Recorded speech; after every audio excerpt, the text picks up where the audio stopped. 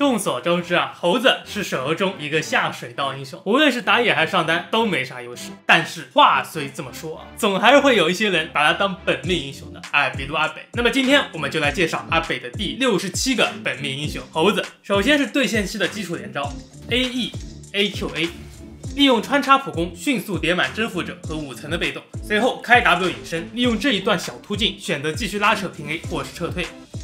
然后是斩杀连招带线或者一 v 一对线的后期，我们可以这样 E A Q 啊先打一套，并将敌人击飞，然后 W 拖时间，等下一套技能 C D 好了以后直接带走。最后是团战连招，从盲视野区先利用 W 拉近距离，在敌人防不胜防下，直接 E 压或者闪现 E 压打出群体的控制。但这样啊，自己技能已经交完了，基本上是死了。建议有金身或者复活甲以后，可以尝试用这种连招。一般情况下，如果距离够的时候，可以留 W 先 E R 上来控一套。再交 W，用 W 来规避伤害，拉扯一会儿，顺便判断敌情，随后打出大招的二段控制，再利用猴子的高机动性完成收割。整体来说，猴子是一个连招相对灵活的英雄。好的，接下来我们通过一场翡翠段位的实战，来看一下下水道猴子的强度。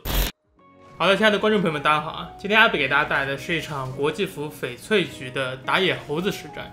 那么打野猴子这个英雄啊，大家知道，其实这个版本里面它不强势。就无论是野区一对一遭遇，还是团战中，他都很难打出很好的效果。哎，这时候小部分长得比较帅的观众啊，就要有疑问了。哎呀，北啊，那为什么我们这一把玩这么弱的猴子呢？那问的很好啊。那原因呢，其实也有一个很深刻的意义。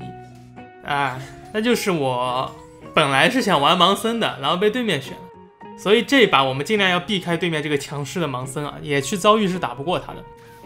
好，这里有一个小技巧。我们先来打野的话呢，先要分析一下两边的这个阵容。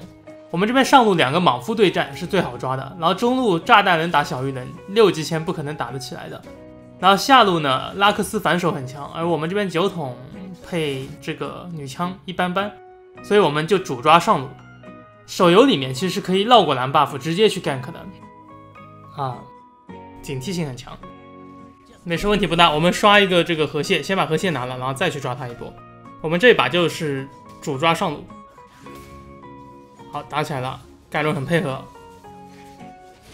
主点 Q 技能，W 上去一个 E，A 一下 Q 一下，再 A 一下，好死了。他拉了个 E 闪，但是我有红 buff，直接烫死了。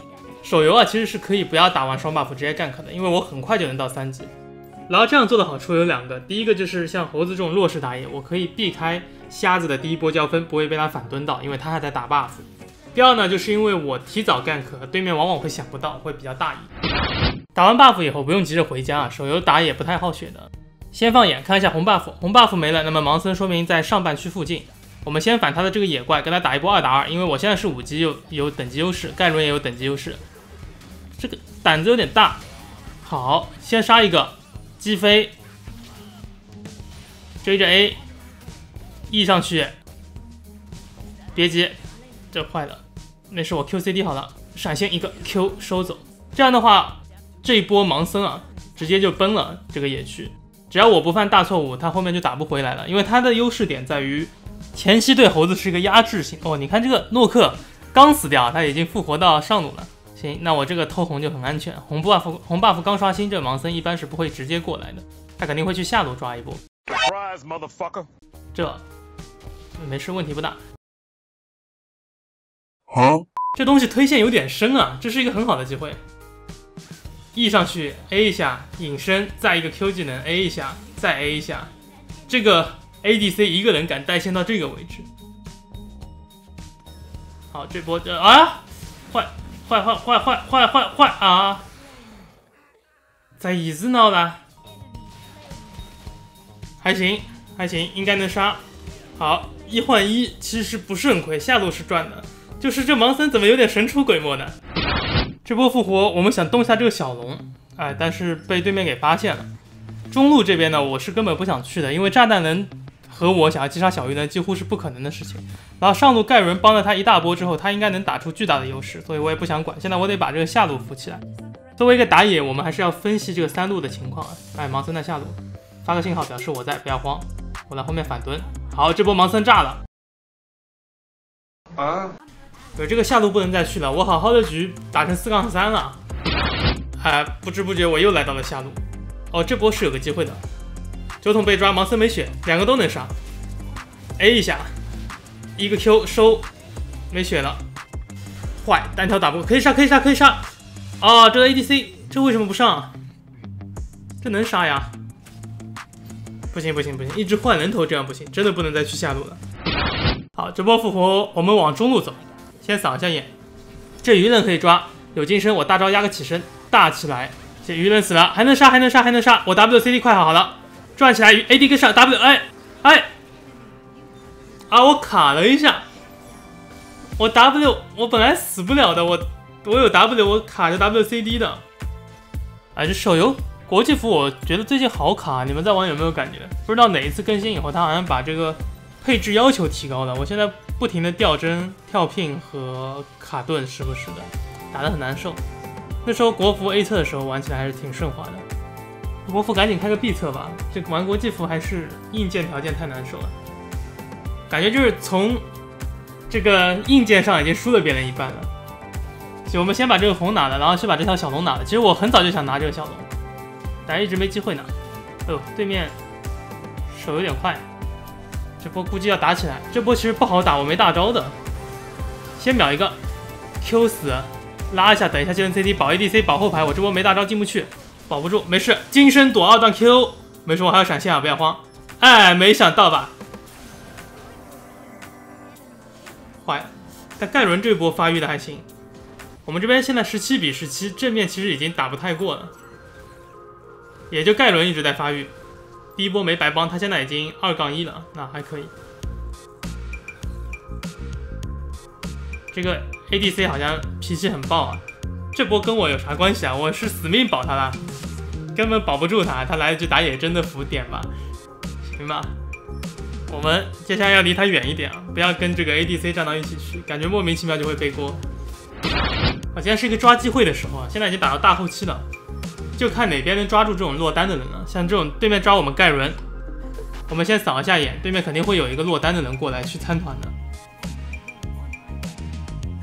可以，可以光辉，光辉可以抓 W 加速，先大招直接上上去把他打断一下，再等一个大刀击飞 ADC 输出能秒可以。好，不着急，可以躲一下鱼。哎，我们 AD 怎么没了？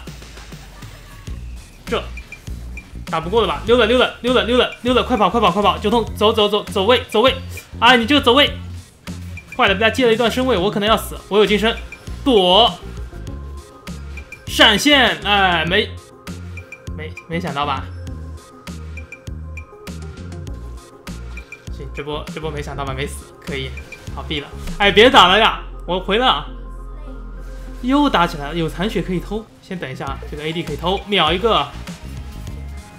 啊，小鱼能插一刀。啊，没想到吧，还是死了。我感觉队友有点着急啊，这波直接被团灭了。现在二十二比二十八，我们挺逆分的，经济差的也挺多的。除了我之外，没有一个人是正数据的，全是负数据啊。这把有点逆分，队友开始。队友开始放弃了，这个下路，这个下路啊，我感觉是那种心态很差的下路，就辅助也好，AD 也好，就是很喜欢直接开始，要么投降，要么什么差距已经越来越大，我们没机会了，什么宣扬这种气氛的。对面两条龙还好，不是龙魂，没事。现在要打团是很难赢的，因为我们 ADC 打不出输出会直接被秒掉，然后我的输出其实很局限，我这种装备进去就没了。所以只能抓一个落单的啊！这里可以包一下这个中路，这中路盖伦如果过来的话，我们可以形成一个五包啊！能上能上能上，光辉可以，没事，这波能打，这波能打，我先继续卖一波大招，给后排输出的机会。对面 AD 要凉，对面 AD 要凉，这波再击飞一次，他们要死，死完了死完了死完了，可以金身，二段 Q 消失，二段 Q 消失，哎坏，我们后排。我们后排这两个满血的怎么有点逛啊？这两个满血的后排怎么不敢输出啊？我感觉这波输出的机会贼好，但还好盖伦这一波偷的很及时。我们就得这样打，我们得先手开一个，直接秒掉。比如说把对面的控制，因为对面没什么控制了，对面的唯一控制就是光辉和维鲁斯，然后这两个都很脆。如果我能切到直接秒一个，我们这把还是有机会能赢的。正面直接站定了，哎，怎么又开始偷了？三杠五、五杠六、三杠三、三杠七，确实数据拉了一点。这把整体没有那种数据特别好的，瞎子数据好一点，我的数据也一般，十一杠九，是一把挺逆风的局，得慢慢打回来。但是我们下路的心态有点差，我们就是得这样打，不能直接正面正面站定了打团，因为一旦正面站定打团，我们中路和下路 ADC 根本活不下来。来，刚那波光辉没抓到，但我们下路被抓了，下路被野区一个人逮了，野区一个人逮三个，这什么意思啊？他一个人逮三个。这能给他走，中路还能留，这光辉躲了，大招击飞，往后拉一下，往后拉一下，别急，别急，别急，瞎子在侧面，瞎子在侧面，我准备击飞他，击飞，踢了我，没事，他闪现交了，但是好像有点有点难顶，大招清兵了，行，那我毙了，这波打不起来了。我们这边的 A O E 还可以啊，他们要推进来也挺困难的，慢慢拖拖到最后，瞎子应该会没什么作用。现在能做的就是把三路兵线推出去，然后运营一下兵线，看对面有没有落单来收线的人，直接抓他一个。只要抓掉一个，我们就会有机会了。